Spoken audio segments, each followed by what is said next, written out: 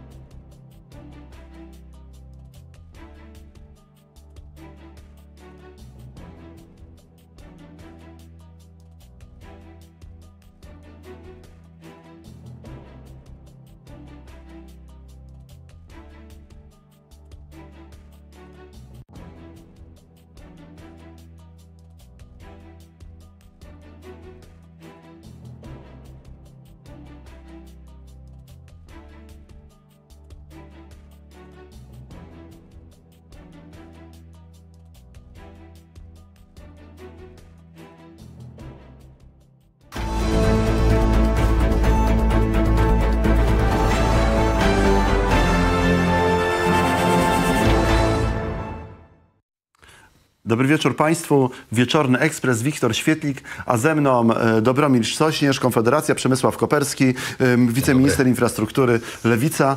Panowie, a właściwie zanim zaczniemy, to jeszcze dwa szybkie e, komunikaty. Pierwszy, zostańcie Państwo z nami też po tej rozmowie, bo później będzie siedział tu Rafał Ziemkiewicz, z którym porozmawiamy o tym, co się dzieje w naszych partiach, no ale też pewnie się odbijemy trochę do, od e, bohatera e, dnia, czyli Jacka Protasiewicza i jego już byłego wicewojewody dolnośląskiego i jego egzotycznych przygód wczorajszych na Twitterze. Ale mam też do Państwa wielką prośbę, żebyście ci z Państwa, którzy jeszcze tego nie zrobili, zasubskrybowali nasz kanał i wzięli udział w sądzie. A e, pytanie w sądzie brzmi, przeczytam, aby nie pokręcić, czy Donald Tusk zablokuje przymusową relokację imigrantów. Oczywiście imigrantów w naszym kraju. E, dopowiadam. E, tak premier zapowiada, że są takie mechanizmy, on ma takie kontakty, żeby to zablokować. Za chwilę też zapytam o to naszych, za chwilę zapytam o to naszych gości. Już się Dobromir Sośnierz wie do odpowiedzi, ale państw, Państwa też zachęcam, żebyście też nie byli gorsi i w, w sądzie zagłosowali. Dziękuję serdecznie. A teraz wracając do panów, obydwaj panowie macie różne poglądy, ale jedna rzecz was połączyła. Jak powiedziałem, że chciałbym jednak zacząć od tego, co, o czym cała Polska żyje, obydwaj panowie zrobiliście, "Hmm, wiedziałem. E, ale fakt jest faktem, że przez właściwie początek weekendu, aż do drugiej połowy weekendu, e, no była taka dość ważna sprawa, jak duży kryzys globalny, który według najbardziej katastroficznych wizji Groził nawet trzecią wojną światową, zaangażowaniem różnych państw, a według średnio katastroficznych wizji dużą destabilizacją całego regionu e, z wyżkami cen ropy, inflacją, różnymi rzeczami, co się wiąże z taką wielką wojną. No a od połowy niedzieli właściwie nie ma tego tematu, e, tylko bohaterem został ni stąd, ni zowąd Jacek Protasiewicz. Jak to jest, że taka obyczajowa nagle wszystko przykrywa? Panie redaktorze, ja niedzielę spędziłem e, z moją rodziną. Każdy się tłumaczy. Nie, Mam- nie zaglądałem na Twittera, nie, nie nic nie wiem o tej sprawie. E, W związku z tym, że bardzo blisko mieszkam Republiki Czeskiej, to wyłączyłem telefon i z No rodziną nie tak daleko na Dolny Śląsk. Spę, spędzałem ten czas, moje córeczki miały urodziny, e, ale dzisiaj zapoznałem się z tym tematem. E, Wiem, że praktycznie jest zamknięty. Pan e, wojewoda zapłacił za tą e, Głową, swoją aktywność w internecie m, stanowiskiem. Dzisiaj, z tego co czytałem, przeprosił, powiedział, że to wynik problemów zdrowotnych. Uważam, że temat jest zamknięty. czy temat jest, e, czy temat jest zamknięty, bo mnie zastanawia inna rzecz, że tak się zas- dzisiaj zastanawiałem, bo rzeczywiście no, doszło do takiej afery, do tweetów, które wyglądały na takie nie, nie do końca w dobrej formie e, pisane, niektórych obrazi tak. obraźliwych wobec różnych służb.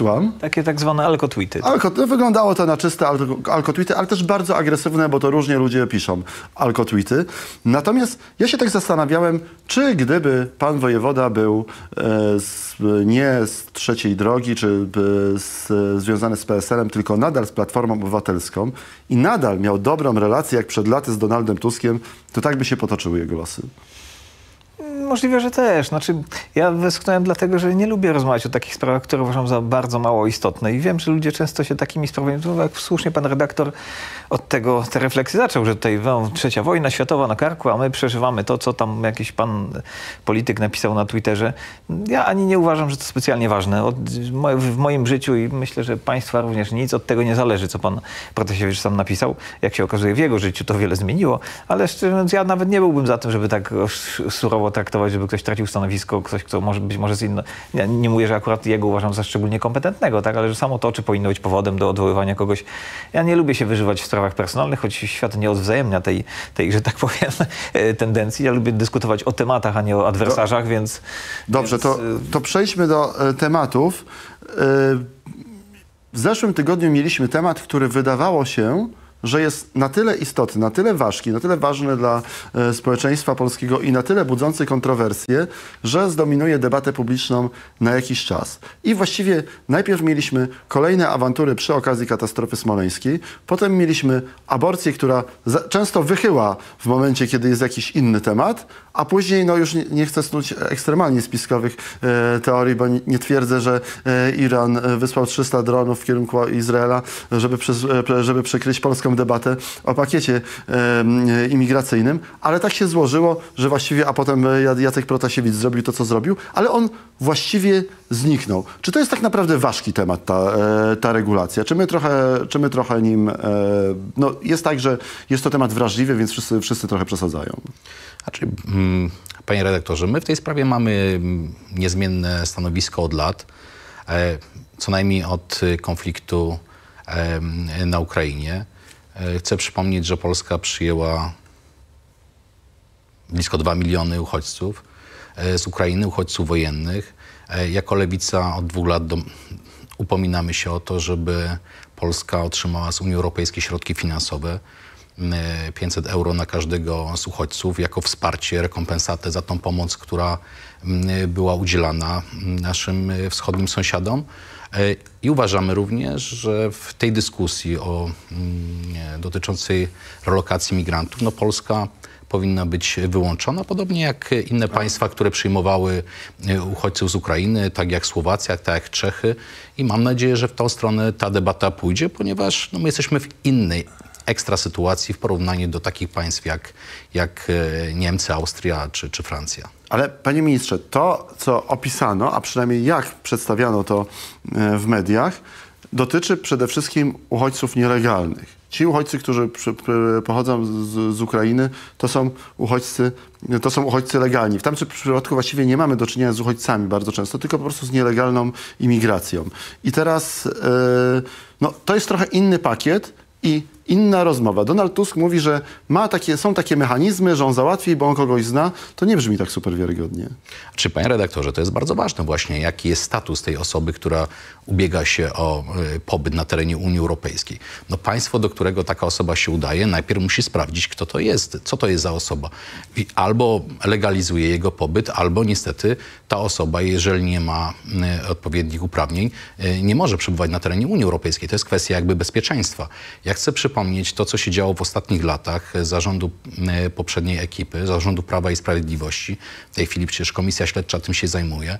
Centrum Wizowe w Łodzi wydało 400 tysięcy wiz dla osób poza wszelkim y, y, procedurom, wbrew wszelkim procedurom konsularnym. W związku z tym mamy ogromny problem, em, jeżeli chodzi o osoby, które mają prawo przebywać na podstawie tych wiz na terenie Unii Europejskiej.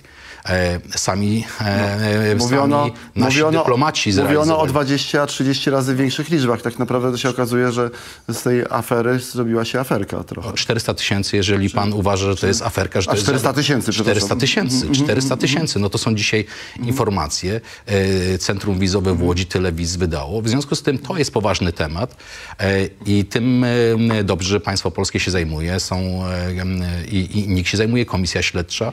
Wszystkie osoby, które dopuściły do tego, żeby handlować polskimi wizami, powinny ponieść odpowiedzialność. Co więcej, trzeba prześwietlić te osoby, które mają e, te wizy, czy nie stanowią jakiegoś zagrożenia dla Polski, ponieważ one pochodzą również z tych państw niebezpiecznych, które dzisiaj biorą udział w konfliktach e, zbrojnych na Bliskim Wschodzie. Również e, osoby, które z terenu Rosji dostawały się do Polski dzięki tym wizom. To są bardzo niebezpieczne rzeczy. Dlatego e, jakby nie ma co przykrywać tym pakietem migracyjnym tych realnych problemów.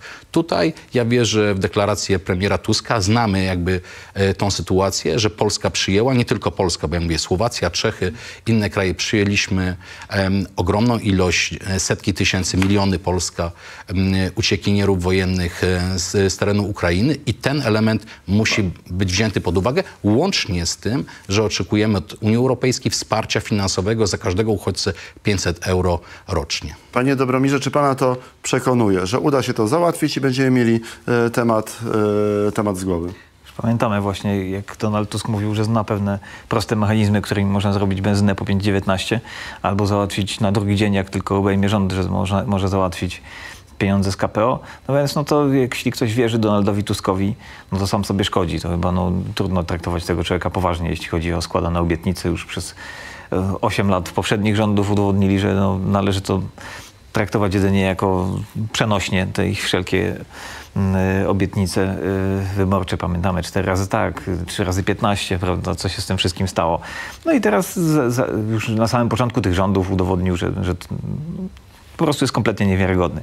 Więc to nie ma sensu w ogóle nawet się zastanawiać, czy, czy tego dotrzyma, czy nie dotrzyma. Wiadomo, że nie dotrzyma. Po prostu musi dojechać jakoś do wyborów. Wiadomo, że ten temat jest, to jest coś, co Polacy dość jednoznacznie oceniają. Polacy nie chcą tych nielegalnych imigrantów i mają rację. A Donald Tusk tam mówi po prostu coś, żeby chwilowo przykryć ten temat, a potem, a potem będzie robił to, co mu Unia Europejska każe. Bo Donald Tu- Tusk został tu zainstalowany właśnie po to, żeby nareszcie rząd polski się słuchał Unii. To po, nie po to Unia inwestowała tyle lat tutaj w, w wojnę z rządem pisowskim, żeby y, teraz się kolejny rząd też jej nie słuchał. Więc od razu panu mówię, to, to, to się na pewno, y, jeśli Donald Tusk będzie o tym decydował, to na pewno to będziemy mieli. No Natomiast dobrze. zastanawiają te, te, te fikołki logiczne, które wyczynia tutaj teraz lewica, tak? Bo pan mówił, że e, że tutaj e, to ci imigranci, których PiS tam sprowadził, to są tacy szczególnie niebezpieczni. A jednocześnie pan mówi, że tych, ci, ci imigranci, których Unia Europejska wpuszcza zupełnie nielegalnie, no to to trudno, to trzeba jakoś tam się nimi podzielić. No nie, no to, to właśnie to są turbo niebezpieczni. Ci, którzy, ja rozumiem, że to, te wizy tam były wystawiane byle jak, nie, bez należytej staranności, ale to jednak są ludzie, którzy poszli po wizę. Choćby je nawet kupili na straganie, to jest to znacznie mniej niebezpieczna osoba niż taka, która wdziera się siłą do Unii Europejskiej. Najbardziej niebezpieczni to są właśnie ci, których wpuszczają Włosi, Hiszpanie, e, Francuzi i inni, którzy, Grecy, którzy powinni tych granic pilnować. I stawianiem sprawy zupełnie na głowie jest to, że my teraz mamy wziąć odpowiedzialność za to, że oni nie wywiązali się ze swoich zobowiązań. Jako członkowie strefy Schengen powinni zapewnić szczelność granic. Wpuścili tych ludzi i to oni powinni nam płacić odszkodowanie, że ci ludzie nielegalnie przebywają na terenie Unii Europejskiej, bo oni mogą przyjechać do nas, a nie powinni.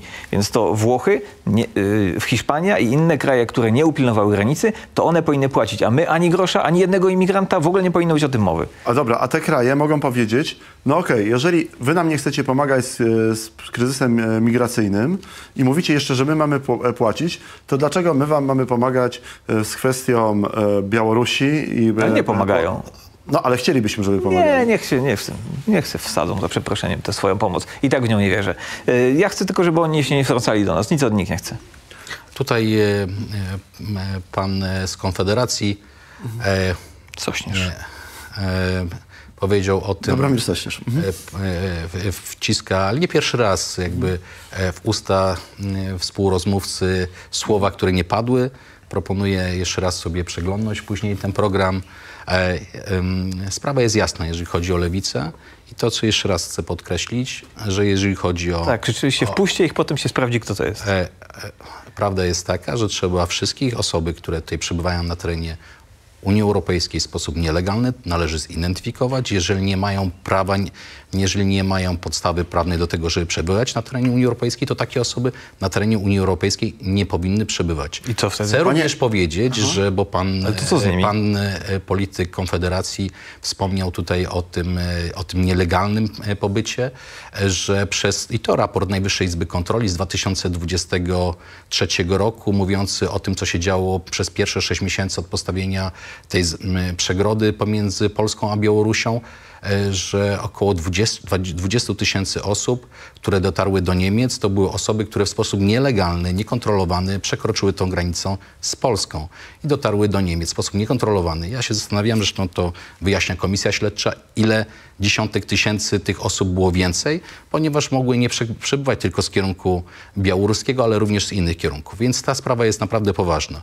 A próba y, y, gdzieś y, umniejszania tego problemu z, wydawa- z wydawaniem wiz w sposób nielegalny, w sposób e, za środki finansowe, 400 tysięcy wiz i że to nie stwarza niebezpieczeństwa dla Polski, kiedy obywatele innych państw trzecich podający się za filmowców przekraczają granicę e, meksykańsko-amerykańską i my się dowiadujemy, że na podstawie wiz polskich, no to to jest niepoważne traktowanie tematu. Kilkaset tysięcy osób wjechało do Unii Europejskiej posiadając polskie wizy.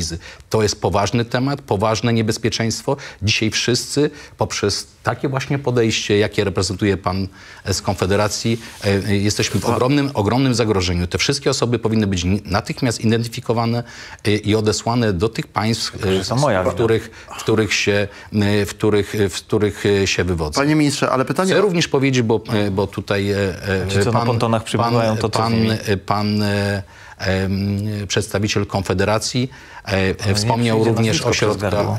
e, wspomniał również o środkach z KPO. Ja chcę przypomnieć, że właśnie w dniu dzisiejszym wpłynęło 27 miliardów e, złotych. e, Pierwsza transza e, z rozliczenia środków Panie ministrze, o, do, z o KPO? Nie, bo o KPO jeszcze... wspo- ja rozumiem, ale... tym- ile to jest O? KPO jeszcze Ile to jest dni Panowie, momencik. Panie ministrze, ale pytanie o jedną rzecz. W, bo, Jeżeli chodzi- bo, bo, ale to jest bardzo je- ważne- jeżeli- bardzo ważne pytanie. Jeżeli pan mi jednak pozwoli zadać pytanie. e, Dwa lata po terminie. Wspominał pan, Dwa lata po terminie. Wspominał pan o tym, że e, ci- te, te osoby, które, e, które wjeżdżają dzisiaj, na które będą wjeżdżać na podstawie paktu migracyjnego, będą bardzo dokładnie sprawdzane, no i jakoś tam ci, ci z nielegalnych migrantów będą legalizowani, którzy są wiarygodni. Problem jest z jedną rzeczą, że w 2015 roku, i to nie mówimy o 400 tysiącach, tylko mówimy o ciężkich milionach, ten sam argument przekony, e, e, używała między innymi Angela Merkel i tego samego argumentu używała Komisja e, Europejska, chcąc przekonać Polskę do wpuszczania imigrantów. Po kilku latach sama Angela Merkel przyznała, że to tak nie było, że popełnili błąd i dzisiaj Niemcy płacą za to. No, Niestety, jeżeli chodzi o dane dotyczące przestępczości, e, w Niemczech są jasne i właściwie wszystkie formacje polityczne e, przyznają, że w tym momencie to jest bardzo poważny Dlatego e, problem. potrzebujemy- Oczywiście róż, ró- ró- różnie, sz- szukając różnych wytłumaczeń dla tego problemu, problemu, ale wszyscy go widzą. Dlatego potrzebujemy mądrej polityki migracyjnej i Musimy dążyć do tego, żeby i Polska, i Europa były miejscami bezpiecznymi. Nie można dopuszczać do tego, że handel wizami kwitnie i każdy może sobie na taką nielegalnie kupioną wizę Już- do Polski przyjechać. Natomiast trzeba również pamiętać o potrzebach pracodawców, o potrzebach przedsiębiorców. E, Dzisiaj część e, e, dokumentów pozwalających na wjazd do Polski wydają powiatowe urzędy pracy. Jest ten katalog chyba sześciu państw. Pozostałych to są urzędy wojewódzkie i wojewodowie. Przedsiębiorcy na decyzje z powiatowych urzędów pracy czekają 2-3 tygodnie, miesiąc. Na decyzje wojewodów znacznie dłużej. W związku z tym należy na pewno zrobić przegląd i te państwa, które są państwami bezpiecz, bezpiecznymi, te państwa, które gwarantują odpowiednią politykę wizową, tam gdzie mamy sprawne konsulaty, tam gdzie nie ma wątpliwości, y, powinny być tutaj inaczej traktowane, Pytanie- ponieważ my też potrzebujemy dzisiaj rąk do pracy. Chcielibyśmy, Pytanie do żeby Dobromira, to były odpowiednie kadry. Do Dobromira Sośnierza, czy pana to przekonuje, że, bo z drugiej strony Unia Europejska przedstawia to tak, że zostanie wprowadzona pewnego rodzaju kontrola. Oni mówią tak, do tej pory przyjeżdżali, roz, e, rozjeżdżali się ci nielegalni emigranci, bo sobie z tym nie, rad, e, nie, nie radziliśmy po Europie. Dzie- My teraz uszczelnimy w gruncie te, e, te granice, ale przesiejemy tych, nazwijmy to, złych albo dobrych. Ja przedstawiam argument, jaki jest, e, znaczy tych, których możemy za, e, e, e, jakoś tam u nas zainstalować i tych, których nie. Nie przekonuje to pana? To mówimy o chcieństwie, a nie mówimy o tym, co jest. Tak? No, do tej pory wjechało mm, przez tą granicę morską, czy tam przez Grecję, przez, przez wyspy, dos- dostało się setki tysięcy nielegalnych imigrantów, których nikt nie kontrolował, których nikt nie odesłał z powrotem, wbrew temu, że nie mają właśnie prawa tutaj przebywać. Więc pan mówi, y, pan z lewicy, jak już tak się trzymamy niemówienia po, po nazwiskach, mówił, że, y, że y, mówił o czymś, co on by chciał, żeby było, a nie o tym, co jest. Tak? Bo jest taka rzeczywistość, że rozdysponowujemy nie jakichś fikcyjnych imigrantów, którzy byli sprawdzeni, rozdysponowujemy tych migrantów, którzy, którzy zostali się tutaj nielegalnie, którzy tu przebywają nielegalnie, nie mają na to żadnej podstawy prawnej, a mimo to ich rozdysponowujemy. O tym mówimy tutaj w istocie rzeczy, a nie o jakichś fantazjach, że fajnie by było, gdyby było inaczej. No może by i było fajnie, ale tak nie jest. Więc y, Nie ma takiego problemu. Nie Proszę, mówimy... proszę pozwolić skończyć. Mhm. Więc, y, więc y, i to, co pan mówił, pan narzekał na to, że ja nie dość dokładnie zreferowałem pańskie stanowisko, a następnie się okazało, że pan ma bardzo fundamentalne problemy ze zrozumieniem tego, co się mówi, bo ja powiedziałem, że to, że rząd y, pisowski handlował tamtymi wizami, to też niedobrze, tak? Natomiast w skali tego, jak bardzo niedobrze y, oceniamy te dwa zjawiska, no to trzeba, trzeba zachować tę skalę, tak? No, rząd, y, to przed sprzedawanie wiz było złe, ale to, co robi, robią Włosi, że podwożą nielegalnych imigrantów swoimi statkami na, na europejskie wybrzeże, to jest turbo złe. To wybierają najgorszych ludzi z możliwych, tak? Najgorszy sort imigrantów, e, agresywnych, e, byczków, e, nieprzestrzegających prawa, łamiących i ordynarnie, ar- ordynarnie terroryzujących załogi tych statków często. Takich ludzi oni wpuszczają. Więc tutaj mamy źle, a tutaj mamy bardzo źle. I niech pan nie mówi, że ja mówię, że to jest dobrze i że to i zaraz pan po, już właściwie sugerował, że to przeze mnie, że to przez takich ludzi, Panie- przez takich ludzi jak poseł z Konfederacji w ogóle. Panie, Włos panie handlował Dobromirze, tymi wizami. pytanie... Włosi podrzucają to dobrowolnie, czy w końcu terroryzują tych, tych y, właścicieli tych statków i tych kapitanów? Bo Tak, te statki są- ja panu opowiem, jak to jest. Nie, y, to- to- jakby ma problemy z konsekwencją swoich wypowiedzi. Nie, to nie ma żadnego problemu z No to konsekwencją. To terroryzują wygląda- czy dobrowolnie? Podrzucają, czy jednak są zastraszani? Już panu powiem. Proszę bardzo. to tak, że są naciski na, na, na statki mm, włoskie, żeby one zabierały tych imigrantów. One zabierają ich, ci ludzie się wdzierają na pokład i bardzo często dzieje się tak, że załoga w ogóle ze strachu barykaduje się na własnym statku, bo boją się tych ludzi. Oni ich terroryzują. Po zabraniu już, po podjęciu ich z tej ich y, jakiejś tam y, tratwy, na której oni płyną, oni terroryzują autentycznie tą załogę. I tak się dzieje. To jedno drugiego nie wyklucza. No to jeżeli pan ma y, informacje o Tak, tym, mam że, takie informacje. Że, że w taki sposób, no to należy na pewno powiadomić odpowiednie służby europejskie, żeby takim działaniom No służby europejskie to robią, no. prze, przeciw, przeciwdziałać. No, A nie- a nie opa- nie ja obawia chcę się powiedzieć, pan- że jest Europejska zresztą Warszawa- te statki, Nawet nie musi które- pan jechać specjalnie daleko, e, proszę pana, ponieważ e, siedziba Frontexu, czyli e, e, służby europejskiej, która zach, zach, e, za, zajmuje się ochroną granic, e, Frontex... e, Nie zajmuje się ochroną granic.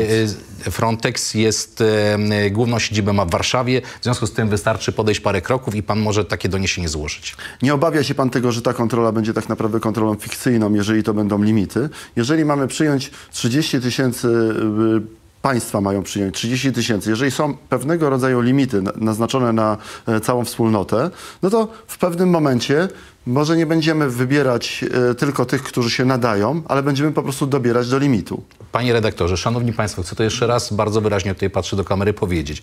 Polska przyjęła 2 miliony y, autentycznych uchodźców wojennych z Ukrainy. W związku z tym y, my ten limit wyczerpaliśmy Ale to byli legalni. na parę, na parę ale, lat. ale, ale to byli legalni uchodźcy, a e, mówimy o nielegalnych imigrantach. Polskie to są trochę stanowisko- dwie grupy ale ludzi. Polskie stanowisko, lewicy, innego. stanowisko lewicy w tej sprawie jest niezmienne.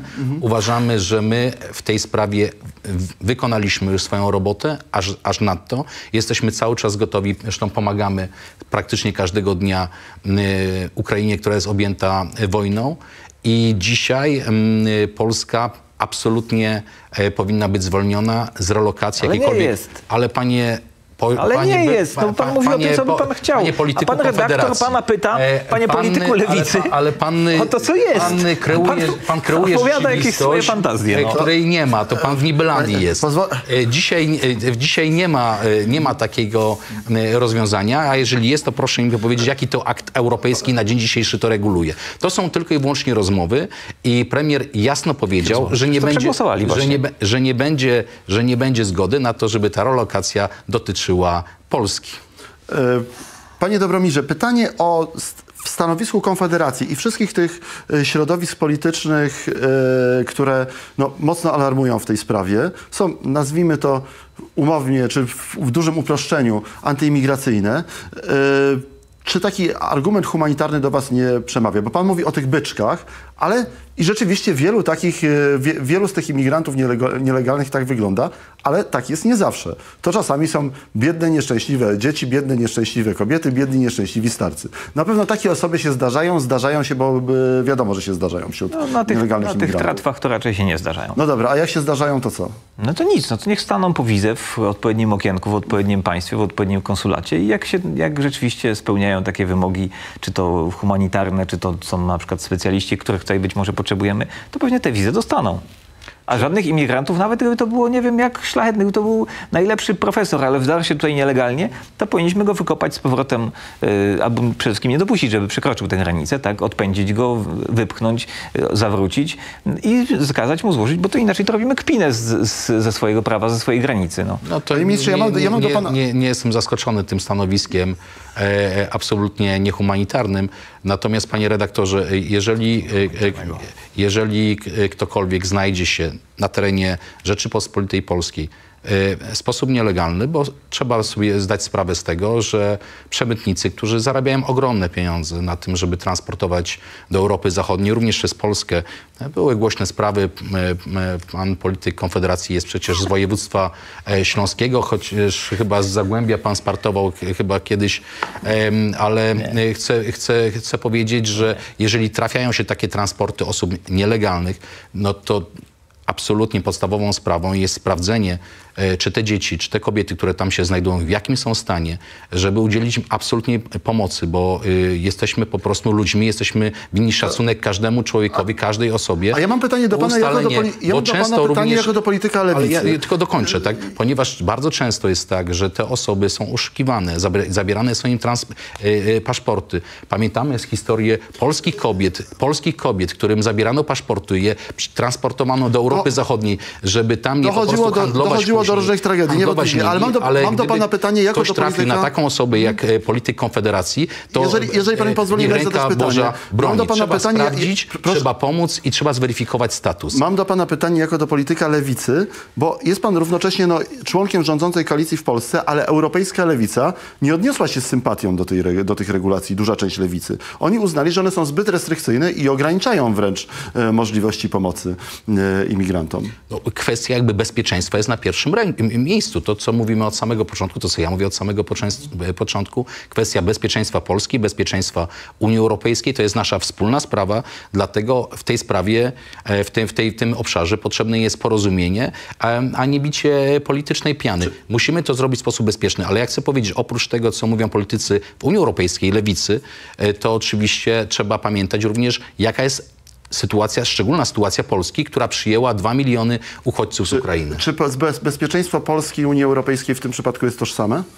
Mm, Myślę, że jest tożsame, chociaż nie wszyscy to chyba dostrzegają, bo tam Unia Europejska na zachodzie, te kraje zachodnie są często tak zarażone już lewactwem, tak zarażone już tą poprawnością polityczną, że nie potrafią reagować zdrowo jak, jak normalny kraj, jak normalne społeczeństwo w sytuacji zagrożenia. I kiedy ewidentnie takie zagrożenie nas spotyka, no to niektórzy opowiadają takie właśnie och, bambinistyczne, jakieś takie, takie, takie banieluki, jak, jak właśnie tutaj pan, że trzeba, nie, trzeba być dobrym dla wszystkich, bo jak oni forsują, ale to może być ktoś tam, nie, no trudno. Y, Musimy postępować tak, żeby nie było chętnych na forsowanie naszej granicy. Trzeba być surowym, no jak, jak się nie jest surowym, no poważne państwa, nie wiem, no proszę prowadzić y, gra- granicę Izraela sforsować, tak jak forsuje się europejską.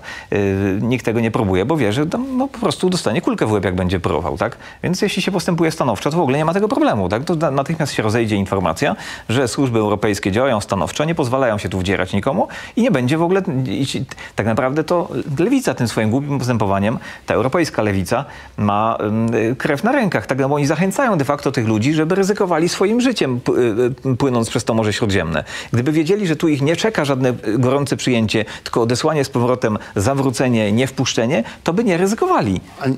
A n- nie obawia się pan tego, że ostra e, retoryka sprawia, że e, tak naprawdę trochę wylewacie e, dziecko z kąpielą? To znaczy w sensie takim, że nie przebijecie się z, z tym przekazem dystansu do e, polityki migracyjnej do większej grupy ludzi niż, e, niż tylko no, swojego elektoratu, tudzież elektoratu Partii Europejskiej, Europejskiej Prawicy, tej nazwijmy to prawicy e, antysystemowej. Ja myślę, że poza taką bańką politycznej poprawności, w której y, ci politycy lewicowi siedzą, to wszyscy ludzie rozumieją to, rozumieją tak jak ja i wszyscy mi przyznają rację. Wszyscy jak teraz tutaj siedzą się nie mogą nadziwić, co, co też pan Koperski wygaduje, że to jest przecież oderwane od rzeczywistości i przyznają mi rację, że przecież tak trzeba robić. Siedzi pan w bańce lewicowości? E, Panie redaktorze, e, chcę powiedzieć, że e, dzisiaj Unią Europejską rządzą dwie frakcje, bo to jest Partia Europejskich Socjalistów i, i, i Demokratów i Partia Chadecka. E, Odpowiadają za to, to są poważne ugrupowania e, w Parlamencie Europejskim.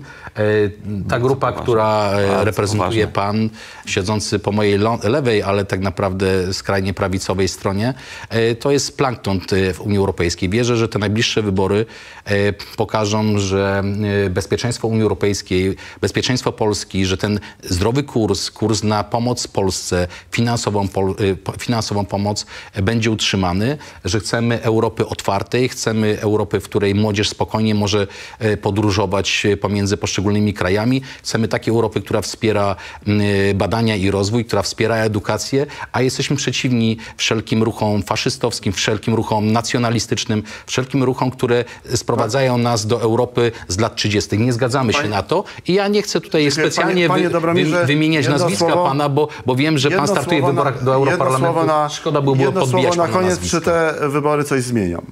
Jeszcze raz? Czy liczy pan na to, że Czy wybory teraz ten- europarlamentarne mogą coś zmienić w kontekście polityki Oczywiście, migracyjnej? że mogą. To wszystko zależy od wyborców. Pytanie, od, od, jak oni się zachowają. Myślę, że, że tego typu retoryka, jaką tutaj w sprawie imigracji przyjmuje ob, obecny y, tutaj ze mną kolega poseł Lewicy, tak, to, to bardzo jest pomocna w tym, żebyśmy, żeby się rzeczywiście coś zmieniło. Żebyśmy, żeby ludzie wytrzeźwieli, żeby otrzeźwieli, żeby przestali wierzyć tym, tym politykom, którzy wygadują takie rzeczy. Dziękuję panom bardzo serdecznie. E, Moimi gośćmi, szanowni państwo, dla przypomnienia e, byli e, polityk prawicy i polityk lewicy, czyli Dobromir Sośnierz i Przemysław Koperski, a państwo zostańcie z nami, bo za chwilę będzie tutaj siedział Rafał Ziemkiewicz. Mówił pan to nazwisko, którego nie wolno wymawiać. 20 grudnia zeszłego roku Tusk mógł to zawetować i nie zawetował. Chodzi o pakt odnoszący się do reparacji. Przepraszam, nie reparacji, tylko relokacji. Relokacji. I tutaj, Szanowni Państwo, rola samorządów może być naprawdę duża, bo jeżeli przyjdzie do takiej sytuacji, w której będziemy mieli tych niechcianych gości w naszym kraju, to bardzo dużo będzie zależało od tego, czy samorząd będzie chciał ich przyjąć, czy będzie miał odwagę nie chcieć ich przyjąć. A to naprawdę jest bardzo, bardzo ważne. Jeśli ktoś nie wierzy, no to przypomnę tą tragedię, która zdarzyła się tak niedawno temu w Szwecji. To zamordowanie Polaka, który tam mieszka, na oczach jego dziecka. Ja dziewięć lat temu mówiłem o tym, co się w Szwecji dzieje. Wtedy mnie zaatakowano tu w kraju. Ambasador Szwecji także zgłaszał swoje sprzeciwy. A przecież mówiłem prawdę. I ta prawda przez te dziewięć lat była nieustannie weryfikowana. I teraz jest zweryfikowana w sposób naprawdę okrutny, także w stosunku do nas, do Polaków. I już wracamy. E, Rafał Ziemkiewicz, no, nawet dość dawno u nas e, niewidziany. Dzień dobry, Rafale, dobry wieczór. Dobry wieczór. Nie wiem, zostaniemy w konwencji, to powiem panie redaktorze Wieczornego Ekspresu. A, a, a, a jakim ty jesteś panem redaktorem? Panie Jakim? redaktorze. No, Republiki jestem- do rzeczy. To za dużo bym musiał- Republiki do rzeczy i swoi, swoim influencerem. I swoim własnym influencerem swojego, e, swojego podcastu. Ponieważ tych funkcji jest za dużo, nie ze względu... A poza tym wtedy bym promował te wszystkie To rzeczy. zostajemy przy nazwiskach. Więc zostańmy przy, możemy nawet zostać przy imionach, tak jest. Dobrze. Jeszcze raz Rafał Ziemkiewicz, weźcie Państwo udział w naszej sądzie. E, Czy Donald Tusk zablokuje przymusową relokację imigrantów? Temat już chyba wyczerpaliśmy, chociaż będzie na pewno jeszcze dość długo wałkowany, więc wracamy do tematu pierwszego. Rafał Ziemkiewicz. Rafał Ziemkiewicz też kręcił, drodzy Państwo, głową, ale Rafałowi nie, nie odpuścimy, ponieważ lud czeka na Twój głos w tej sprawie. Ale ja nie jestem terapeutą od uzależnień. Bo To ja nie się domyślam, o co ty mnie Po pierwsze, pytać. problem, y, problem jest społecznie bardzo, y, bardzo nośny i jeżeli jednej osobie to pomoże, to myślę, że było warto z perspektywy y, pana Prote- Protasiewicza. Masz na myśli ale- Łukasza Mejzę, bo ale- ja zgodnie z zasadą i Szwecji tkwi podest stwierdziłem, że tym, naj, naj, kto najbardziej skorzystał jest pan Mejza, bo już nikt nie pamiętał pijackiej imprezie w Sejmie i w, w śpiewaniu o Grzegorzu Braunie o trzeciej nad ranem. I teraz wszyscy mówią o Jacku Protasiewiczu. Więc tylko pytanie, dlaczego Jacek Protasiewicz postanowił przykryć wyczyn swojego, by było nie było partyjnego przeciwnika. No więc... No, nie chcę go całkowicie usprawiedliwiać, ale y, no, pewne sytuacje i p- długo stosowana, bardzo zła dieta powoduje, że słabo się to kontroluje, kiedy się coś przykrywa, a kiedy nie. Ale zmierzam do trochę innej historii. Dzisiaj dość szybko jednak premier zdecydował się na dymisję Jacka Protasiewicza. Y, Szczerze mówiąc, było parę osób, które robiły gorsze rzeczy e, w, przeszłości e, tego, tego rządu i dymisje się nie sypały, wręcz przeciwnie. Ale albo robiły je sprytniej, albo mniej ostentacyjnie. No i ja powiem tak, albo nie miały takiego dobrego umocowania. bo, A no właśnie. Znaczy, bo Jacek Protasiewicz w sumie to tak naprawdę można go wylać, bo kto tam... No, on niby, niby z list PSL-u, ale nie, nie jest PSL-em, jest jakąś tam partią europejskich demokratów, która właściwie już odkąd Michał Kamiński wszedł do, do, do Senatu, to właściwie nie wiadomo po co istnieje, więc... Myślę, że można tutaj było okazać stanowczość. Jakby się przyjrzeć na takie sytuacje różnych ludzi, którzy zapłacili szybkimi dymisjami za coś, a, a takimi, którzy powinni, a jakoś się rozeszło po kościach, to zazwyczaj się okaże, no, że są ludzie potrzebni partii i są ludzie mniej potrzebni partii. no, No. powiedzmy sobie szczerze, że jeden, już abstrahując od rzeczy, które są no, takich jak chociażby minister sprawiedliwości mówiący, że wykona jakieś działanie, jak tylko znajdzie do niego podstawę prawną. Nie, nie, on już wykonał wykonał działania, działanie, a, ten, właśnie, a teraz szukamy a teraz szuka podstawy prawnej. Wydaje No mi się, że to jest skandal Wydaje mi się, właśnie. że to jest dużo gorsze niż nawet obraźliwe pijackie alkotwity. Nie, przepraszam za tautologię, ale no, weźmy ministra kultury z kolei, już abstrahując od tego, czy e, on na pewno wypełnia tak funkcję ministra kultury, którą tradycyjnie uważało się za, e, e, za ministerialną, ale powiedzmy sobie szczerze, minister Sienkiewicz bywa też, bywał też w formie, która budziła spore wątpliwości, e, włos mu z głowy nie spadł. No ale jest, jest potrzebny partii, jest wierny, jest posłuszny. E, Wykonuje przecież to chyba nikt nie myśli, że Bartłomiej Sienkiewicz coś sam wymyśla, że on sobie takie robi. Nie, przeciwnie. To, to że mm, tak wyglądało przejęcie, TV, zniszczenie TVP, bo to jest bardzo ciekawe, warto o tym porozmawiać moim zdaniem. E, tutaj wszyscy tacy dziennikarze kuluarowi, którzy chodzą i zbierają te głosy po kuluarach, ja tego nie robię, ale mam dobre źródła, no to oni mówią, że to było, w, w, wszyscy jakby koalicjanci potwierdzają, że Donald Tusk wrócił z, wtedy z Brukseli, to było takie przedświąteczne posiedzenie w Brukseli, gdzie on pojechał przywieźć KPO, wtedy nie przywiózł. E, i wezwał do siebie i tam w najszerszym spotkaniu po prostu z, zrugał tego Sienkiewicza jak psa przysłowiowego go zobaczył, że natychmiast ma po prostu z telewizją zrobić porządek. Natychmiast. No i w paniczne, ten jak kazał szef, no to Sienkiewicz w panice wymyślił jakieś absurdalne bo też już mało kto pamięta, że przez pierwszy tydzień to wszystko działo się na podstawie prawnej rzekomych uchwał zarządu, które by się okazało, że były lewe w ogóle. Ta pani notariusz, która to pisała, się ukrywa w Argentynie i chyba tam będzie musiała długo siedzieć, żeby, żeby jej nie wypuścili, bo już pani Wrzosek jeszcze, prawda, potem się okazało, że też poza prokuraturą były pisane pisma. No to wszystko było jeden wielkim skandale. Potem tydzień później wymyślono, że może jednak likwidacja, postawimy w stan likwidacji, to już bardziej ma sens, to znaczy rzecz życzliwy sędzia może klepnąć, ale tam jedni są życzliwi, drudzy nie widzą powodu być życzliwi i to teraz się będzie kitłasić. I efekt jest taki, że TVP nie ma.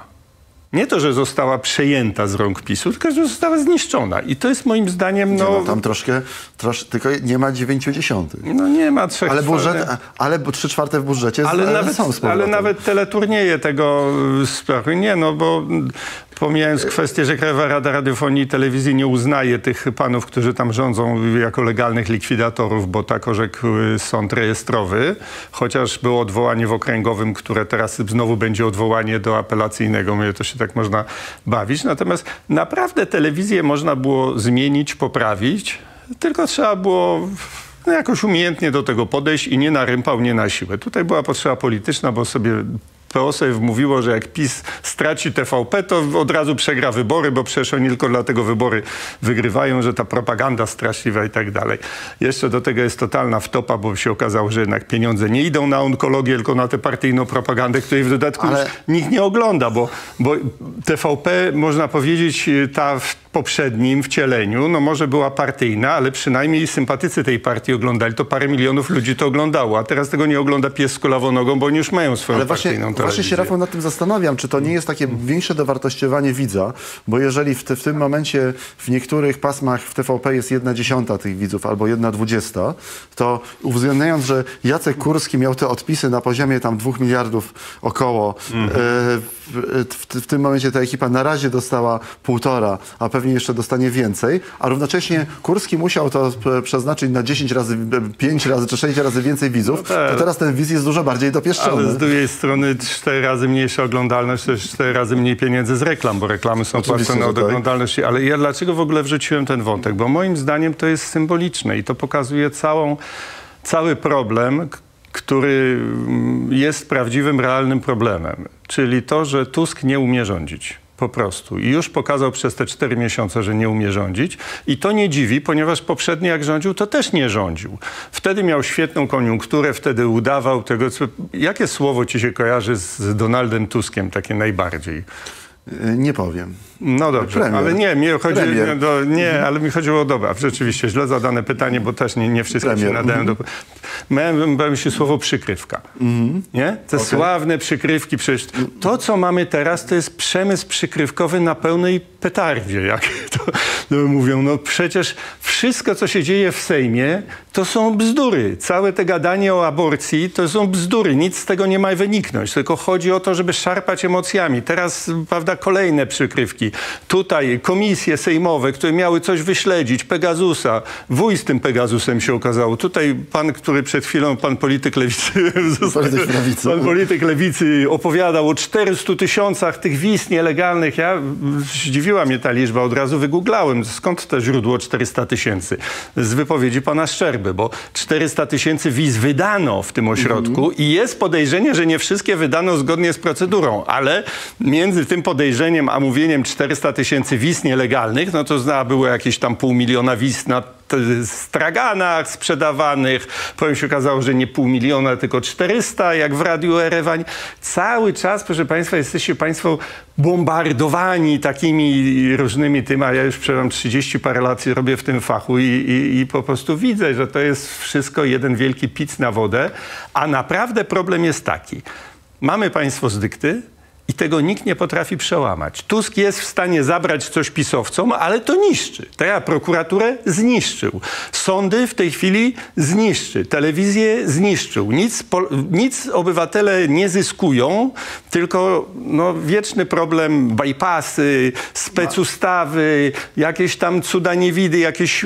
A, a, a wszystko to jest jeden wielki naprawdę Marcin Kierwiński po wyborach powiedział, że no, zas zasugerował, czy powiedział, że potrzebne są szybsze, gwałtowniejsze rozliczenia pisowców. Czy jeżeli państwo jest z dykty i takie, tak słabo działające, jak mówisz, i jeżeli Tusk jest tak niedecyzyjnym premierem, jak, jak mówisz, no bardziej straszącym niż, e, niż powodującym konsekwencje swoich decyzji, e, to czy to roz, rozliczenie jest rozliczeniem autentycznym i on rzeczywiście będzie wyrządzał krzywdę swoim przeciwnikom politycznym, czy to też jest straszenie? Jeżeli się zdecyduje na drogę legalną, to nic z tego nie będzie. No będzie jak z Wąsikiem i, i Kamińskim, którego w końcu udało mu się okazać moc, że ich aresztował, no i aresztował ich na tydzień.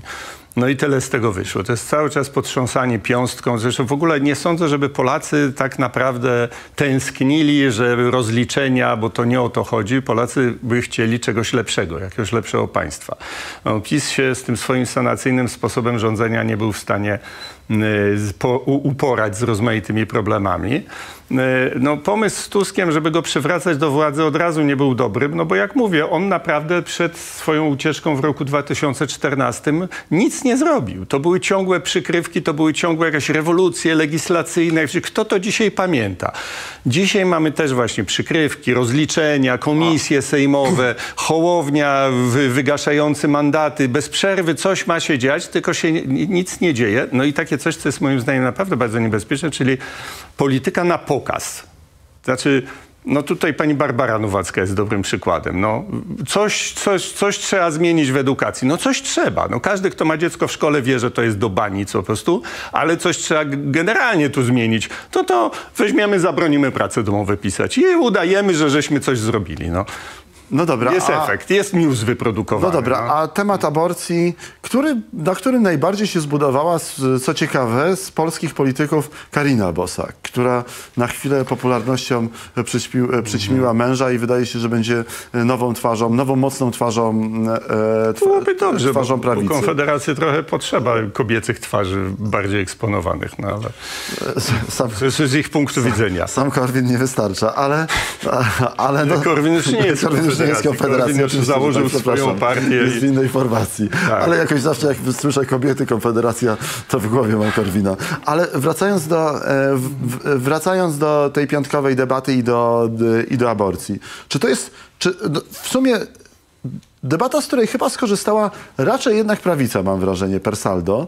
E, czy, czy to było też przykrywanie tego, o czym rozmawiałem z moimi gośćmi przed chwilą, czyli To pakietu jest- migracyjnego? Znaczy, moim zdaniem wszystko, co jest, jest przykrywaniem tego, że tak naprawdę to to państwo nie działa. W związku z czym wykonuje się ruchy pozorne, wykonuje się właśnie jakieś rzeczy typu spektakularne, no, kładka Trzaskowskiego. Niczego nie rozwiązuje. 150 milionów poszło na to. Można było za... No, jest taki mostek w, mieście. No fajny ludzie, mostek, tak, Ludzie ale- wypoczywają, jest, mostek jest okej. Jedną trzecią tych pieniędzy można było nabudować ścieżek, po, po, po, po, mogę pokazać miejsca, bo ja też jeszcze na rowerze, chociaż z tego nie robię ideologii i mogę pokazać miejsca w Warszawie, gdzie za nieduże pieniądze można by bardzo dobrze, y, jak powiem rowerzystom, zrobić, ale nie byłoby wielkiego newsa. To tak było, jak za poprzedniego Tuska pan Nowak na przykład sprowadził Pendolino. Pendolino, za te same pieniądze można było za 12 składów Pendolino kupić 50 składów polskich, które były lepsze, bardziej dostosowane do Pendolino polskich się przydaje. Za, za, już się tam połowa tych pendolinów popsuła. No tak, tylko że chodziło, że jakby wypuścili 50 dartów, to by nie było newsem, a pendolino było newsem, który prawda, żył i się można było nim chwalić. Tylko, że bez sensu to wszystko było i nic z tego nie wynika. No i taka, tak samo jest z tą aborcją. No.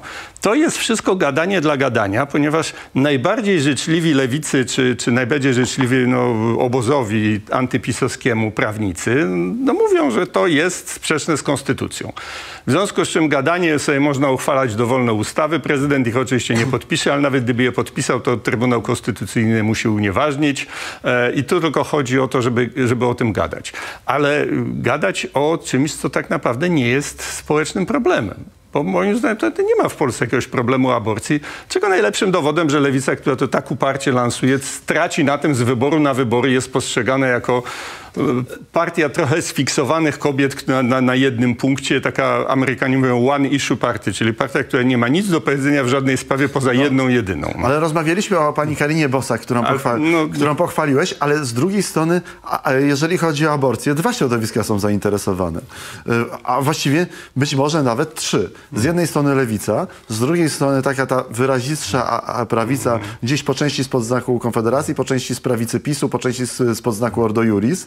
Y, No i chyba sam Donald Tusk, który w tej, przy tej okazji może napuścić na siebie swoich koalicjantów, bo Hołownia nie może poprzeć i PSL nie mogą e, poprzeć tego, e, czego chce lewica, a lewica nie może się z tego, się z tego wycofać, bo ją hart elektorat zlinczuje. Ale to są wszystko chińskie cienie, tak? Taki teatrzyk chińskich cieni, bo to się ma w ogóle nijak do prawdziwej rzeczywistości. Rafał, a to w ogóle polityka w demokracji tak nie wygląda? Nie wiem, czy myślę, że w ogóle to w dobrze funkcjonującej republice jednak polityka jest o rzeczach poważnych. Jednak się tam czasem, oczywiście zawsze jest jakiś element show, ale nie na litość boską wyłącznie. A tu mamy wyłącznie show. Zresztą to jest dziwne, bo jako 30 lat patrzeć na wszystkie projekty dotyczące aborcji, to Polacy mają jedno niezmienne zdanie w sprawie aborcji. Kompromis aborcyjny i go nie ruszać. Nie, to kompromis jest hasłem od, y, ukrywającym coś innego. Przestańcie w tym Sejmie o aborcji ciągle gadać. Zajmijcie się tym. Przecież ludzie czują, że to jest zastępczy problem. Oczywiście to jest kwestia moralna, na dyskusje filozoficzne. Niech naukowcy się spierają, niech się spierają lekarze, niech się różne inne te. Ja też mam oczywiście swoje stanowisko w tej sprawie, ale to nie jest w ogóle dyskusja na politykę, ponieważ politycy powinni się zajmować rzeczami, które są problemem społecznym, a aborcja nie jest problemem społecznym, ponieważ nie, nie żyjemy w czasach e, Boja Żeleńskiego, nie ma żadnego piekła kobiet i są takie pigułki, co jednak wbrew temu, co lewica sądzi, większość Polek jest na tyle inteligentna, że umie pamiętać, żeby codziennie taką pigułeczkę zażyć i wtedy się można kochać na całego bez obawy, że, że, że pełnoskalowo, że tak powiem, uprawiać miłość, bez obawy, że się zajdzie. E, A jak się zajdzie, to też tam są rozmaite wentyle, ale to są już jednostkowe pewne dramaty, którymi się politycy się tym nie powinni zajmować. I Polacy to dobrze czują. Każdy, kto podnosi temat aborcji, na tym traci, bo to nie jest temat dla polityków. Odczepcie się od tego. Zajmijcie się jakimiś poważnymi sprawami, na przykład e, dlaczego mamy po kilkaset tysięcy złotych w ciągu roku dopłacić do y, ocieplania budynków, chociaż nam wcale nie jest zimno w tym budynku, tylko ktoś sobie wymyślił w Unii Europejskiej, że ma spełniać normy, prawda, które są wzięte absolutnie z, z ideologii. No to przemysł przykrywkowy. No, Rafale, ale przedstawiasz tą rzeczywistość jako taki ta cień, a właściwie taką fasadę, dzięki której funkcjonuje mechanizm polityczny, no politycy wygrywają wybory i funkcjonują i że pod nią nie ma nic, że jest kompletnie pusto. No ale państwo w jaki sposób no, są rozmaite rzeczy, które muszą być pchane e, do przodu. Czy to się wszystko zawali i czy to może w ten sposób funkcjonować bez końca? Taki, e, e, taki pusty, ta taczka, w której nic nie ma, ale Znaczy- która cały czas zapieprza dookoła. to może funkcjonować dość. Nie, no tam się coś dzieje, tylko problem polega na tym, że jeżeli państwo nie działa, to te kompetencje, które do państwa mm, powinny należeć, są rozrywane przez jakieś silne grupy interesu. I, I grzechem założycielskim państwa, w którym żyjemy, jest to, że ono zostało od razu w Magdalence tak wymyślone. To jest to nieprawe poczęcie III Rzeczpospolitej. Że ona została tak wymyślona, ponieważ nomenklatura, która oddawała władzę, miała zamiar zostać kapitalistami, rozkraść to państwo, rozszabrować je, w związku z czym wszystkie instytucje państwowe ustawiono tak, żeby były bezsilne. I one są bezsilne. Ja przypomnę, że transformacja ustrojowa tak naprawdę zaczęła się od rozwiązania Wydziału w Milicji Obywatelskiej, który się zajmował zwalczaniem przestępczości gospodarczej. I teraz też mamy, co zrobił pan Bodnar. Pod hasłem, że on niby walczy z pisowcami, rozwalił, rozpiżył w ciągu miesiąca cały pion prokuratory, e, gdzie nie było żadnych pisowców. Byli ludzie, którzy od 12-15 lat zajmowali się przestępczością gospodarczą, e, łamali karuzele VAT-owskie, e, ścigali mafię e, paliwową, mieli to w małym palcu. Oni wszyscy wylecieli, chociaż nie byli pisowcami, zostali wyniesieni gdzieś do Pierdziszewa Górnego, ich pan Bodnar wysłał na delegację, a wziął ludzi, którzy albo w ogóle nigdy nie mieli z tym do czynienia, albo wręcz są na nich rozmaite zarzuty i byli, że tak powiem, pod, pod dyscyplinarnymi postępowaniami za, za różne rzeczy. Już ten pion gospodarczy nie istnieje, no to co? No to y, już mamy jakieś dziwne ustawy y, aptekarskie, y, już mamy jakieś dziwne ruchy wśród tych ludzi, którzy się zajmowali w Ministerstwie Zdrowia. Nagle ani jednego farmaceuty, prawda, nie ma w, przy opiniowaniu leków. No to są ewidentne otwieranie luk.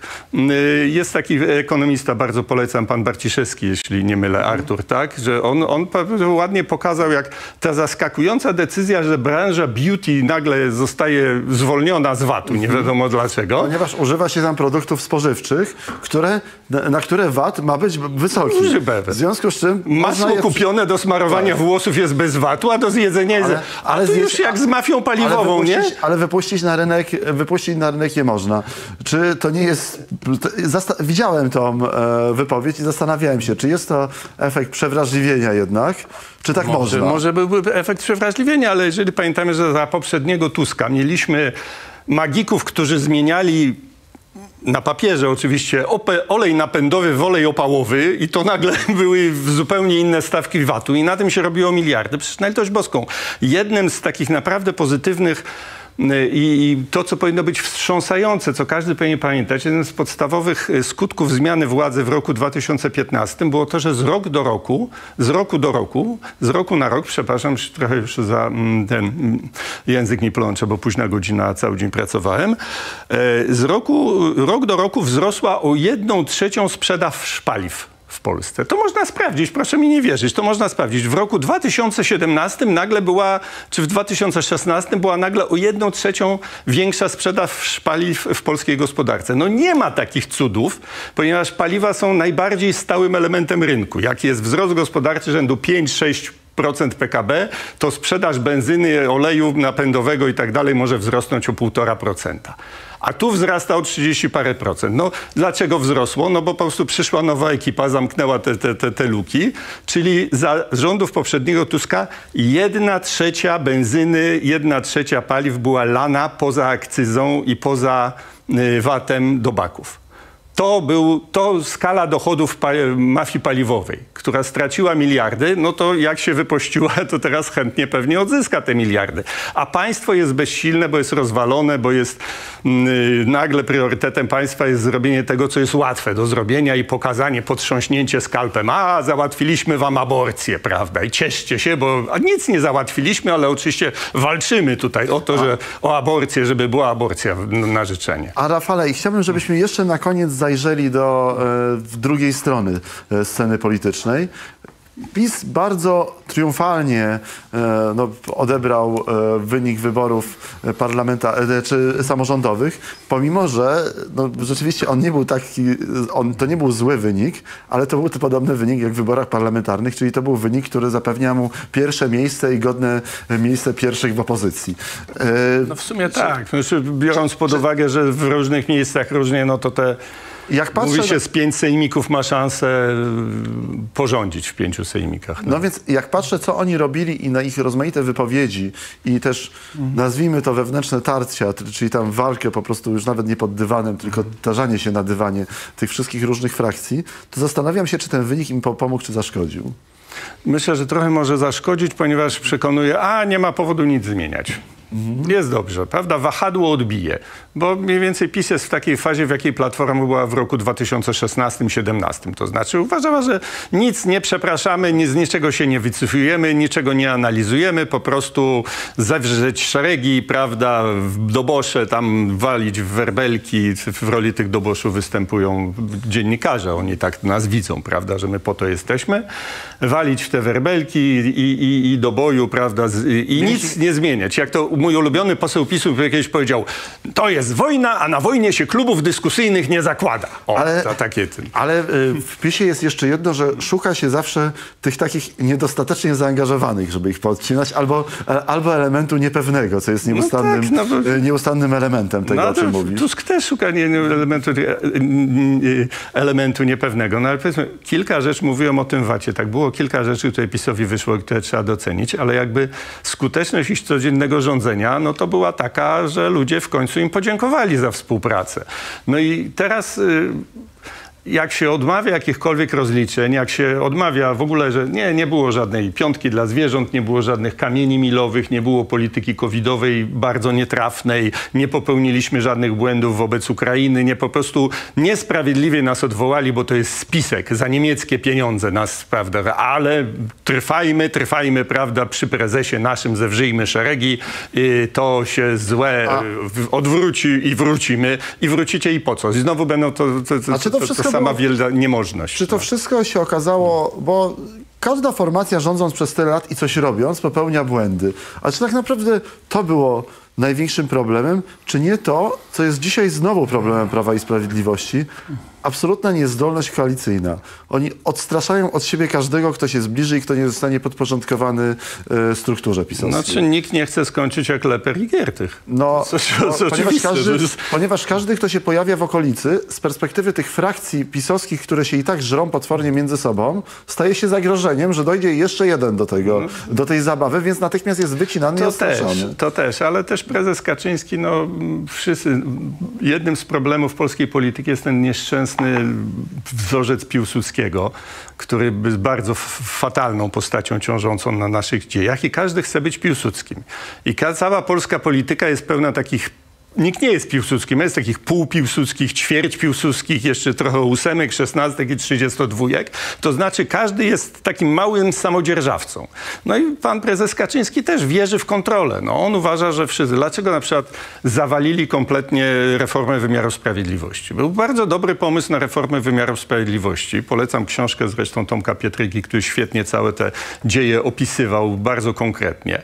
Stowarzyszenie Justycja było właściwie powstałe jako stowarzyszenie, można powiedzieć, pisowskie, jeśli chodzi o program. Jako stowarzyszenie młodych sędziów dławionych przez ten establishment stary. No, To I ono miało dobre postulaty. Rzeczywiście rzadko się o tym wspomina, Dzisiaj ale się- niektórzy, niektórzy z tych dzisiaj takich potwornie rozpolitykowanych sędziów, którzy się po prostu zmienili jako ludzie, kiedyś funkcjonowali chociażby w otoczeniu Janusza Kochanowskiego, e, byłego Bo rzecznika był- praw obywatelskich i buntowali się przeciwko ówczesnemu postkomunistycznemu systemowi, którego teraz gorąco bronią. No, bronią, no bo się okazało, że jeżeli mm, jakby był pierwotny pomysł, bardzo dobry, żeby KRS wybierali wszyscy sędziowie.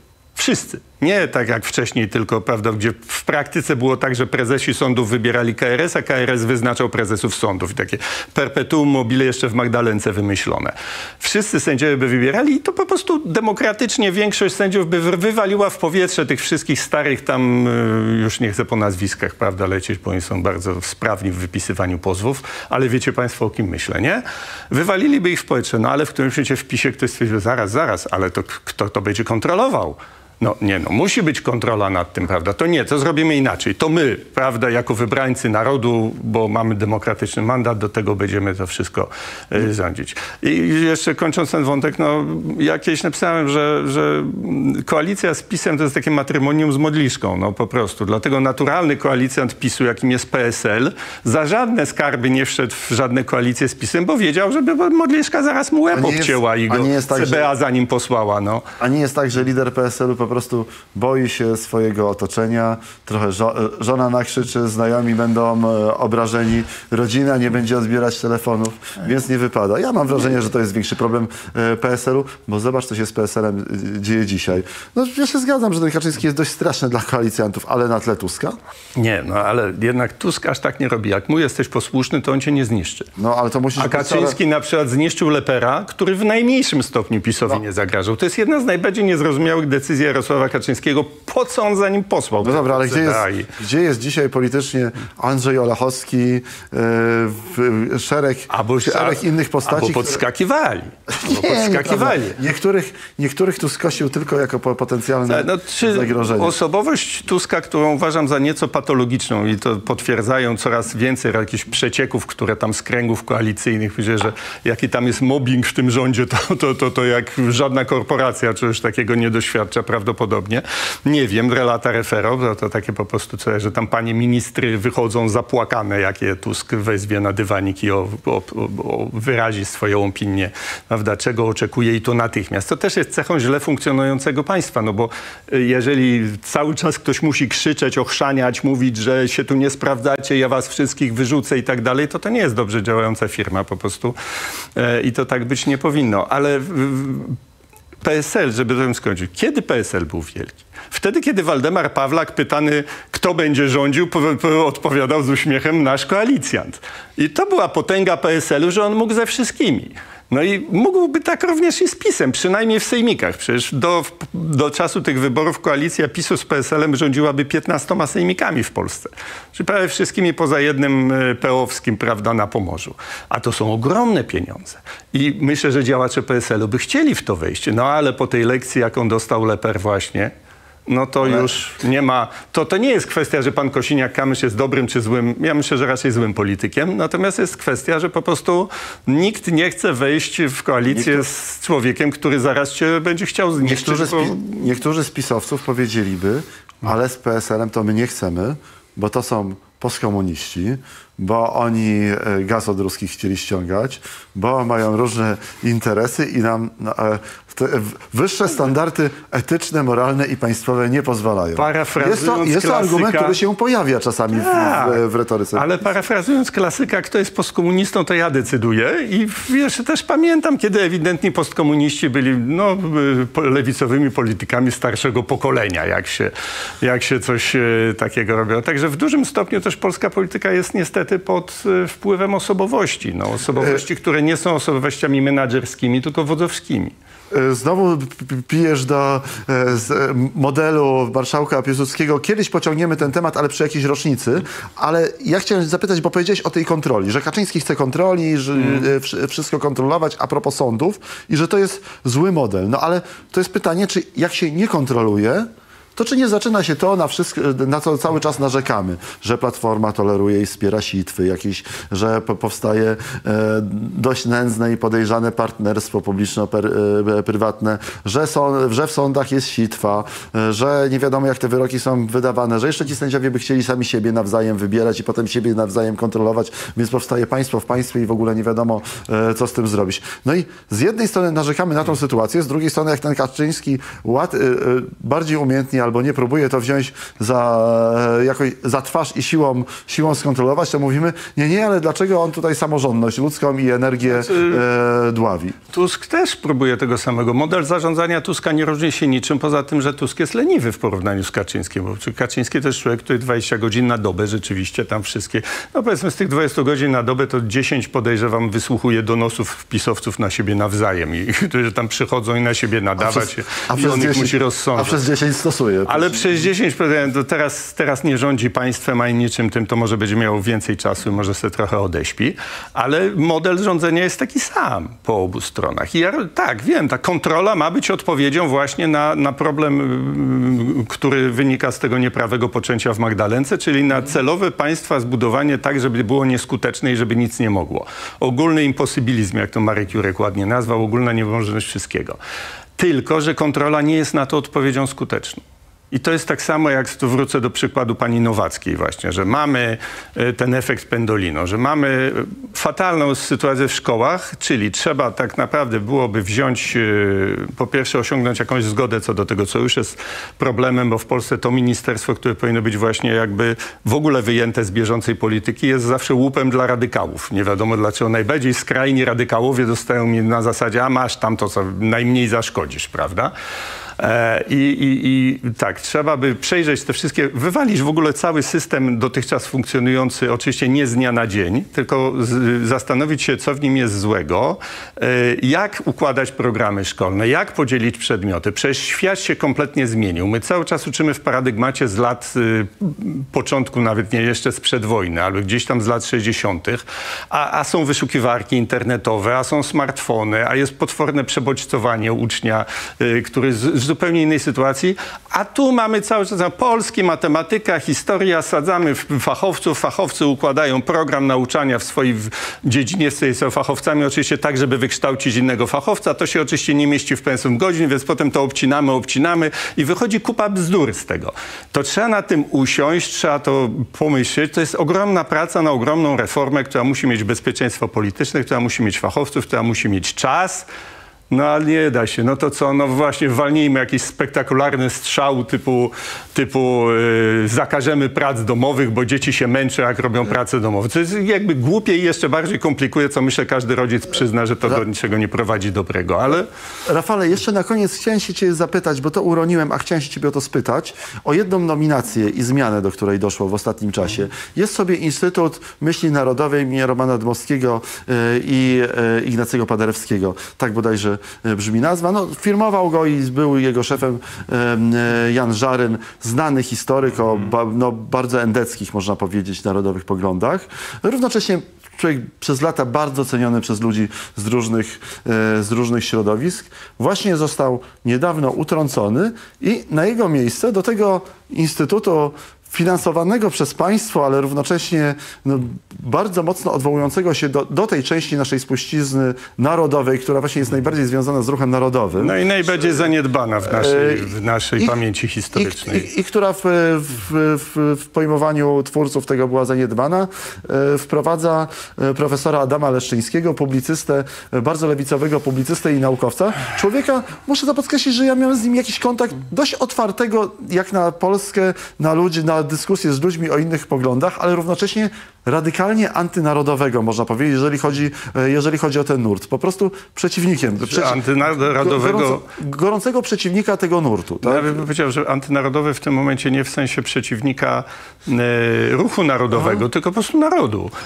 On jest że z tej pojęcie- tradycji, która uważa, że naród to zło, że jak ludzie w, identyfikują się ze swoim narodem, to to prowadzi do wojen, do prześladowań, do pogromów, że to trzeba to, to z ludzi wykorzenić, prawda? Ale jakby już nie wchodząc nawet detalicznie w jego poglądy, to jest trochę tak, jakby ciebie uczyniono e, prezesem, no nie wiem, jaki instytut mogę sobie Nie, ja- ja wyobrazić. Instytutu Gomułki albo Instytutu Jacka Kuronia na przykład, tak? No, E, Nie, e, myślę, że bardziej. To jest tak, jakby Grzegorza Brauna zrobić dyrektorem y, Muzeum Polin. Dokładnie. To, to tak. Y, Pan Leszczyński jeszcze, ja czytałem jego książkę i tak powiem, nie mam o nim dobrego zdania po tej książce. Osobiście człowieka nie znam, ale po prostu uważam, że jako naukowiec jest bardzo słaby metodologicznie, jako historyk. E, W związku z czym te jego wnioski są takie na siłę wyciągane, ale on na swojego następcę wybrał takiego pana Witkowskiego, który jest już po prostu jakimś Radykałem. antyf fiarzem, zadymiarzem po prostu kompletnym. Zmienili nazwę, że to już nie jest Instytut Dmowskiego, tylko Instytut Gabriela Narutowicza, chociaż jako żywo Gabriel Narutowicz żadną myślą, no, był postacią tragiczną, zapisał się tym, że był ofiarą szaleńca, bynajmniej nie ruchu narodowego, tylko, tylko to jest zupełnie osobna historia, jak fałszywy jest ten mit o rzekomej odpowiedzialności narodowców za śmierć Narutowicza. No oczywiście mogli to zmienić na Instytut Róży Luksemburg na przykład, to byłoby jeszcze śmieszne. Słuchaj, dwie rzeczy. Waryńskiego. Dwie. Nie, Waryński to był uczciwy Polak, chociaż y, no, w tamtych czasach jakby słowo proletariat i te idee co, co No, To, to, inaczej. to, Marchlew, to znaczy. Marchlewskiego w takim razie. No Marchlewski, no niech będzie, ale to on też nie zostawił żadnej myśli. No Róża Luksemburg była, znaczy, bo to jeżeli Instytut jest, Dziedzictwa... Jest muzeum, jest muzeum w Zamościu w synagodze, którą to synagogę Róża, Róża Luksemburg najchętniej by zapewne spaliła, no ale to a przynajmniej, tak. a przynajmniej zamknęła i przerobiła na Muzeum Ateizmu. Zapewne tak, ale powiedzmy, że żeby był Instytut czegoś dziedzictwa, to musi być jakieś dziedzictwo, a nie, że, że ktoś tam sobie istniał po prostu kiedyś i był sławny z różnych powodów i chcemy go w ten sposób upamiętnić, żeby jego imienia były instytutem. Nie o to chodzi. Tu są dwie rzeczy. Po pierwsze to właśnie dociskanie nogą przez Tuska, rozliczać, rozliczać, rozliczać. Ja tu muszę pokazać, że pisowców wywalamy ten, ale jest druga rzecz. Stworzono instytucję, która będzie teraz podawać piłki wszystkim łajdakom antypolskim na świecie, że Polacy faszyści, że Polacy antysemici, że polski ruch narodowy to taki jak hitleryzm, że albo jeszcze gorszy właściwie, e, że Polacy, te- wszystkie, cała narracja najbardziej nikczemna będzie uwiarygadniana przez pana Witkowskiego z panem Leszczyńskim. Idę o zakład, że to też było brane pod uwagę, no bo jest ta Pedagogika wstydu, czyli mówiąc z angielska shaming, to jest jedna z dwóch podstawowych y, osi czy- propagandy tego, co nazywamy Michnikowszczyzną. Shaming i cancel. A czy a propos podawania piłki, czy PiS trochę nie podał w tej sprawie, tworząc tego rodzaju instytucje piłki platformie. Może trzeba było na drugą nóżkę na przykład stworzyć jakiś instytut Tuguta albo nie wiem, jakiegoś przedwojennego lewicowca. No, szczerze mówiąc- oni dzisiaj mówią, wy mieliście swój instytut prawicowy, to my teraz zrobimy swój. Ale mieli swój Instytut Daszyńskiego na przykład i jest taki think tank. Tam nawet się trochę ciekawych rzeczy widziałem, że się urodziło, więc to, to, to, to nie o to chodzi. Natomiast już pomijając te, te kwestie, że Instytut e, Dmowskiego rzeczywiście został stworzony trochę jako przykrywka do mm, takiej próby stworzenia swojej endeckiej przybudówki. Jak w momencie jak się pojawia Konfederacja, Ruch Narodowy, Bosak, Winnicki, który już w tej chwili w polityce nie uczestniczy, no to było takie, że PiS też powinien mieć swoich narodowców. Problem polegał na tym, że to narodowcy byli tacy, jak sobie e, Jarosław Kaczyński, uczeń Jana Józefa Lipskiego wyobraża narodowców. No najlepiej do tego pasowali Marian Kowalski i Robert Bąkiewicz. I, ci, I oni tam zostali włączeni w, te, w, w ten obszar pisowski. Więc to od razu u zarania ten, te, ten instytut miał, miał mm, e, błąd, że tak powiem, w swojej konstrukcji. Ale jako, jako coś, co niby miało wspierać pracę merytoryczną, ale też miało wspierać pewne działania polityczne rozmaitymi grantami i to chyba dla nikogo nie było tajemnicą. Ale to dotknąłeś takiego tematu, że go PiS na, na rozkładał tyle rewolwerów, że tak powiem, po, po domu w przekonaniu, że nikt się nigdy do niego nie włamie, przed czym coraz sądniejsi dziennikarze ostrzegali. Myśmy o tym pisali wielokrotnie, że e, wyobraźcie sobie, e, to było adresowane do wówczas rządzących, jak tego może użyć Platforma, jak dojdzie do władzy. Bo oni szli na rympał, bo na żeby, kupowania mediów. żeby przełamać, żeby, tak, żeby przełamać imposybilizm, to właśnie tworzyli takie, takie rozmaite, na, Tusk to nazywał bypassami czy specustawami, a oni tego nie nazywali, po prostu to robili.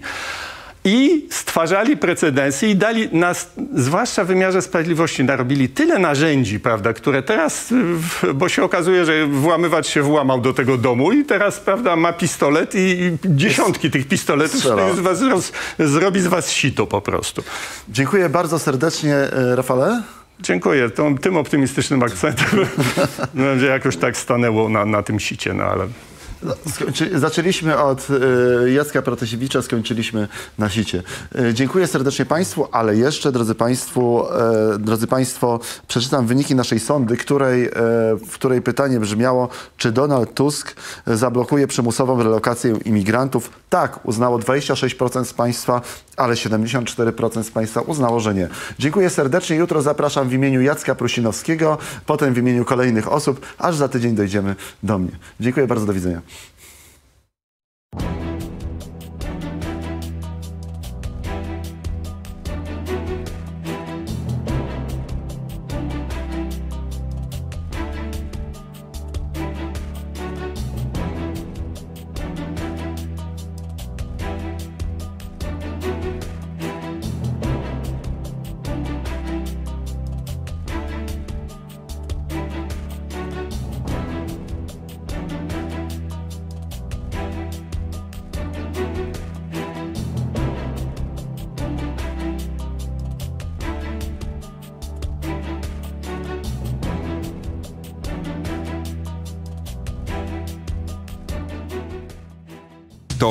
Tej transmisji, ale nie koniec najwyższej jakości publicystyki i informacji.